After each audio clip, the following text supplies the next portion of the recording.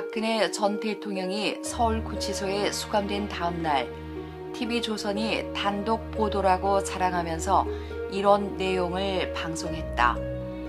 박근혜 전 대통령은 독방 안에 들어가기 직전 구속 사실을 실감한 듯 합니다. 한참을 방 안으로 들어가지 않고 선체로 눈물을 쏟으며 울었던 것으로 전해집니다. 이에 교도관들이 이러시면 안 된다. 방으로 들어가셔야 한다고 달래며 박 전 대통령을 방 안으로 들여보는 것으로 알려졌습니다. 이때가 기상 시간인 오전 6시쯤이어서 다른 수감자들도 이 소리를 들었던 것으로 전해졌습니다. TV조선에서 시작한 이 보도를 전 언론이 사실 확인도 없이 베끼는 사태가 벌어졌다. 위 내용을 확인하기 위해 기자는 현직 교도관에게 전화를 걸었다. 그의 신분을 보호하기 위해 이름과 근무처, 직급은 밝히지 않는다. 그는 TV조선 보도에 대해 기자가 아니라 소설가가 쓴 오보라고 말했다.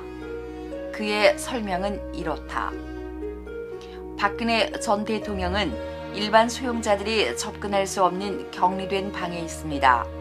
박근혜 전 대통령의 울음소리를 다른 수용자들이 다 들었다는 보도를 보고 우리 교도관들은 모두 웃고 말았습니다.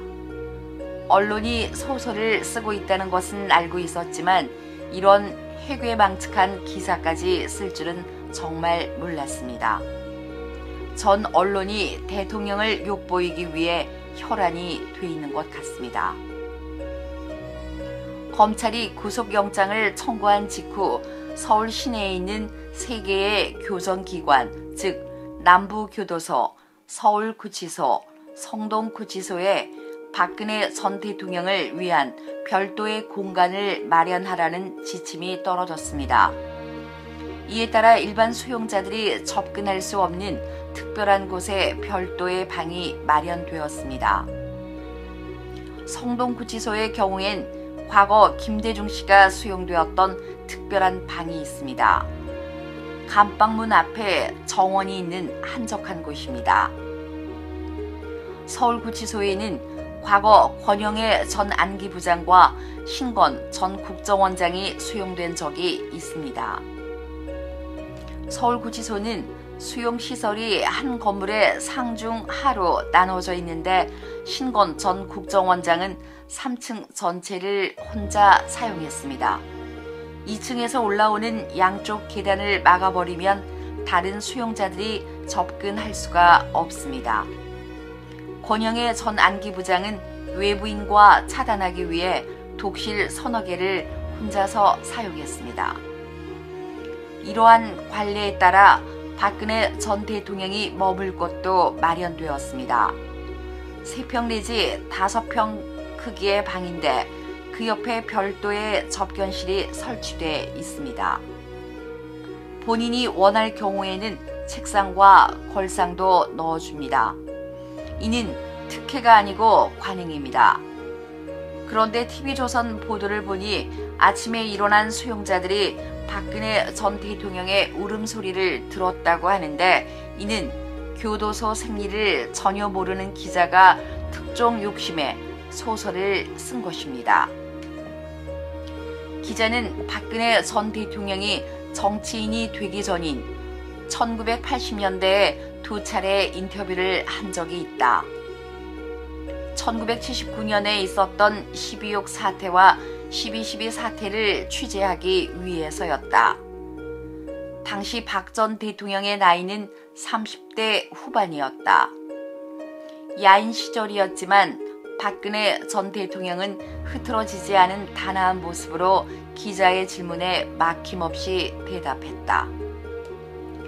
대답하기 곤란한 질문, 즉 결혼은 언제 할 것이냐고 묻자 말없이 고개를 돌려버렸다. 가벼운 농담으로 넘길 수도 있었겠지만 대답을 하지 않았다는 것은 체질적으로 거짓말은 하지 않겠다는 단호함의 표시였다. 질문을 한 기자가 오히려 몸둘 바를 몰라 했던 부끄러운 기억이 있다. 박근혜 전 대통령은 손가락 두 개로 물구나무 서기를 할 만큼 강인한 체력의 소유자다. 부친 박정희 대통령이 김재규의 총탄에 서거했다는 통보를 받았을 때 박근혜 전 대통령이 보인 첫 반응은 전방은요 이었다. 휴전선에 이상이 없느냐 하는 질문이다. 아버지 서거보다 북한군 동향에 더 신경을 쓴 분이 박근혜 전 대통령이다. 그렇게 의연한 분이 감방문 앞에서 펑펑 울었다는 TV조선 보도를 보고 기자도 기가 박혔다. 기자는 위 내용을 보도한 TV조선 조덕현 기자에게 전화를 걸었다. 기자의 신분을 밝힌 뒤 보도 내용의 사실 여부를 물었다. 조덕현 기자에게 그런 내용을 알려준 사람이 교도관인지 수용자인지를 알고 싶다고 질문하자 조덕현 기자는 취재원 보호를 위해 밝힐 수 없다고 말했다. 그래서 박근혜 전 대통령이 일반 수용자들과는 격리된 공간에 있다는 사실은 알고 있느냐고 물었더니 조덕현 기자는 보도한 내용 외에는 말할 수 없다라고 말했다. 박근혜 전 대통령이 구속된 이후 주류 언론과 종편의 타깃은 대통령에서 대통령 변호인단으로 바뀌었다. 변호인단이 변론을 잘못해 박근혜 전 대통령을 감옥에 보냈다는 것이다. 대통령은 잘못이 없는데 변호인단이 잘못 변호를 해서 구속이란 사태를 불러왔다는 논조다. 마치 병 주고 약 주는 식의 교묘한 책임 회피다. 주류 언론은 그 근거로 변호인단을 교체하겠다는 박지만 회장의 말을 들었다.